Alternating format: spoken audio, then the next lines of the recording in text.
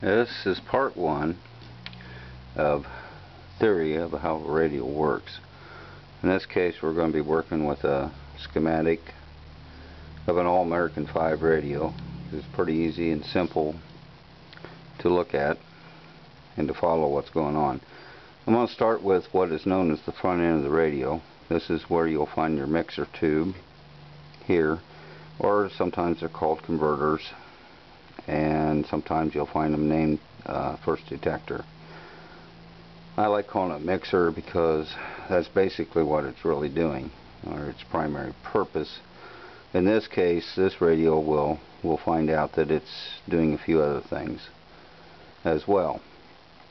Now your signal will come into your antenna here, that's what's represented by this wire and you will tune it with your tuning condenser by turning the knob now I want to touch on this a little bit, this circuit right here.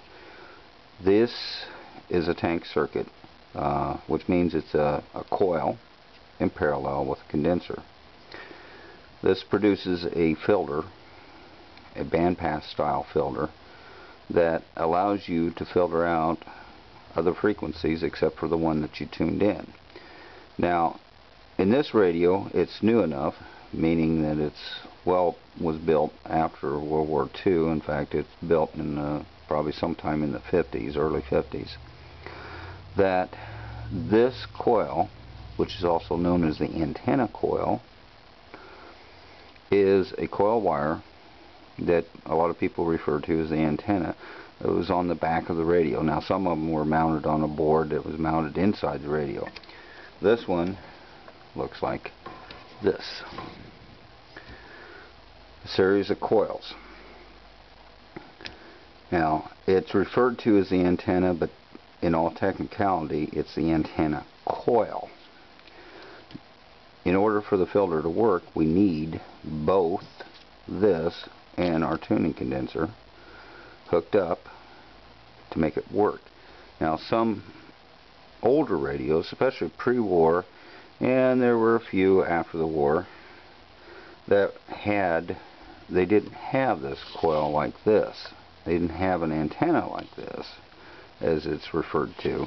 They actually had just either some screws, or if you go back far enough, they had spring clips that you hooked an aerial to, which is the proper term, which uh, basically was a piece of wire. And they'd have a ground that you'd hook, uh, if you'd done it right, done it the way the manufacturer said, would hook to a ground rod outside your home stuck in the ground. But underneath the radio they still had this underneath the radio. What what it looked like was this here. This is an antenna coil.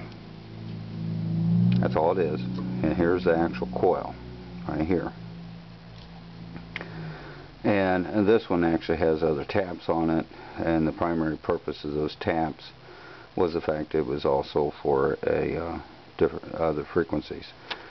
But nonetheless, it's an antenna coil, and that radio actually had just some screws on the back to hook an aerial to. If you try operating one of these radios without this, what you'll get is distortion.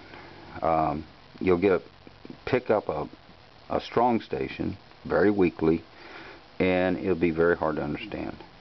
Uh, mainly because you've disturbed your input filter. Only half your input filter is there. So you absolutely need this hooked up.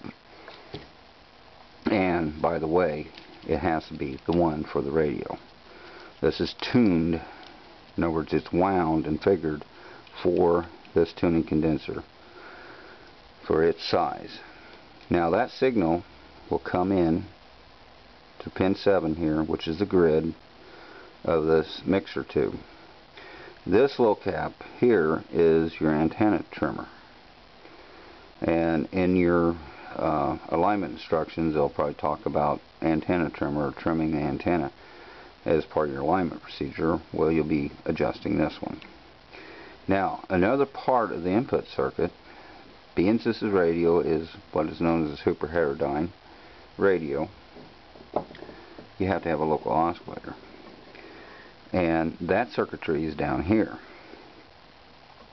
Now there's a bunch of circuits here, but we'll break it down. The primary oscillator is just that right there. That's it. That's all there is. This coil and this capacitor. It actually resembles this in a way, and also this in a way. Except this is an oscillator and not a filter. But it still has a capacitor connected to a coil in parallel, and these are known as tank circuits.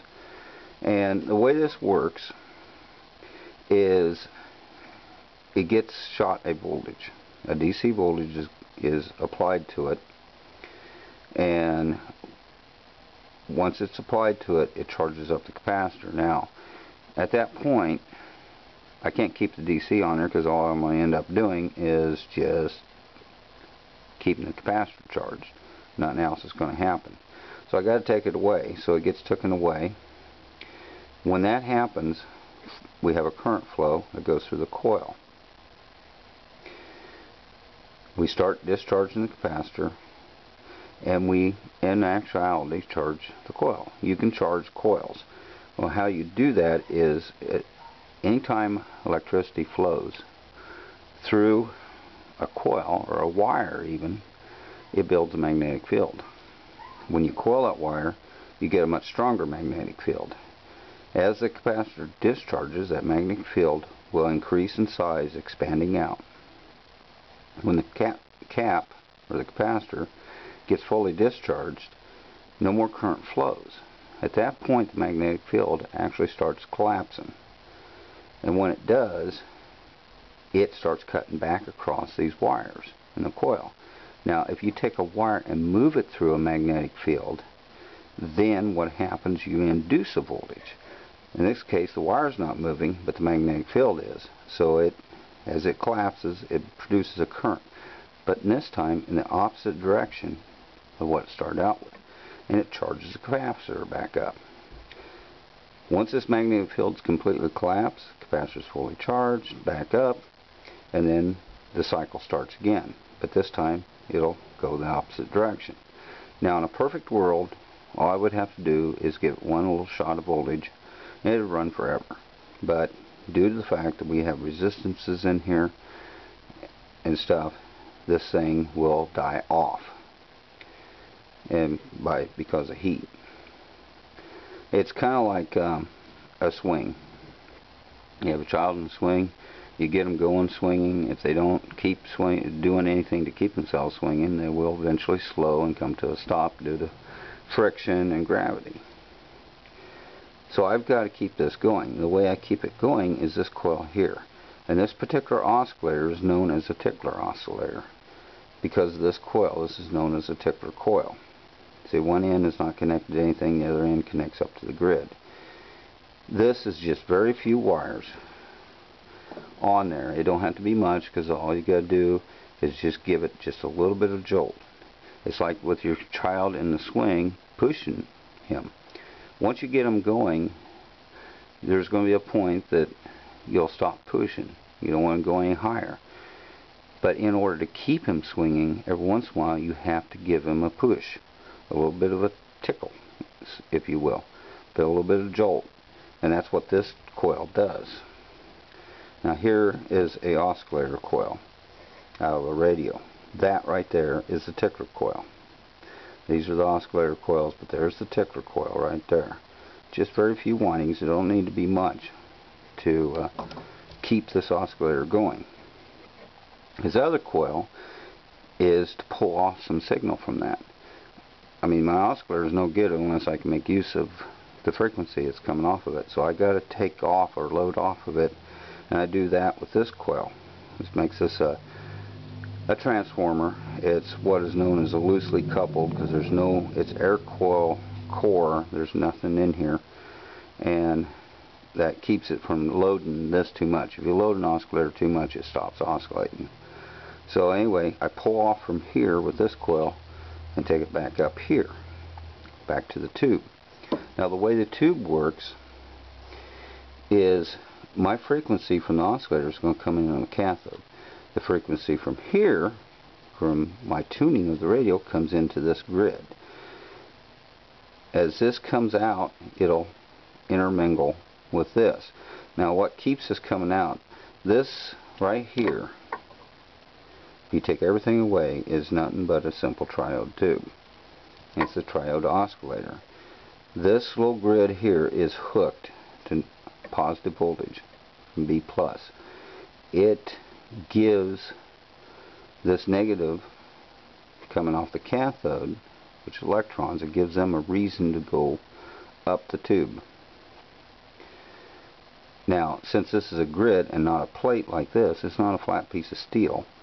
This is just nothing but just some very fine wire that's inside the tube, and it's actually fairly far spaced. So it's actually just making a positive charge there, acting as what is known as an anode to give it a reason to move and get past this grid here and so that the two can intermingle. Now, due to various reasons, and when I get into doing something on tubes, I'll talk about those further. What comes out of this tube will be four different frequencies. One frequency will be just the radio frequency that you tuned in. The other one will be just the oscillator. The other one will be these two added together. And the last one will be the two, the difference of the two of them subtracted. This here is IF. It is tuned to a certain frequency. In this case, All American 5 AM radio 455 kilohertz. The difference between these two will always be 455 kilohertz. It will block out everything else but the difference between these two. That's all it gets through it. Now, this dotted line shows your tuning condenser. There's two sections. The dotted line means that they're on the same shaft. The reason for that is, as you tune the frequency here, or turn this condenser, you have to track this. This has to follow. So the frequency of this has to change exactly the same as this one does in order to keep at least a difference of 455 that can get into and go past the IF transformer. Now, real quickly, one other thing is this is one style of oscillator. Another style oscillator that is commonly used is called a Hartley. It does not have a tickler. Instead, it has a tap that comes off the main coil here. It may have another tap for here, or it may have a trans transformer winding as far as pulling off of it. But this tap will be actually at one end of the coil, so it's just a few windings that's tapped out. It kind of works the same way, except it's using the same coils as opposed to a separate coil. But otherwise, it does the same thing. It acts the same way. But it's called a Hartley, and this is called a tickler. One last little thing is in some radios, they'll have a separate oscillator. Be just a triode tube, like a 6J5 or something, that is acting as an oscillator. And they may also have another tube here that's an RF amp. It's actually a tuned RF amp uh, meaning that it actually has its own tuning circuit as well. And there'll be a third gang on your gang tuning condenser. Instead of being two like this one, I have three. And the idea of the RF amp is primarily for more weak signals than strong signals, but to give more sensitivity to the radio. Make it so it can pick up weaker stations. So it amplifies lightly, but it amplifies the signal coming into the mixer tube and the separate oscillator is not really that big of a deal but some some engineers claim that it was a better deal than letting one tube work. And of course early days they didn't even have this type of tube so they had to have a separate oscillator. But naturally if you have those two extra tubes in the radio and it may only just be one or the other but if you have them the radio is a higher end it costs more because it costs more for the tubes and the parts. So you may see something like that. Now on the next one, um, we'll work with the IF section and discuss it a little bit. And if there's a bunch of questions on it, I might come back to this and do some more on this just to answer those questions. So there could be a second part depending on if there's a lot of questions about how this front end is actually operating. So be looking forward to part two.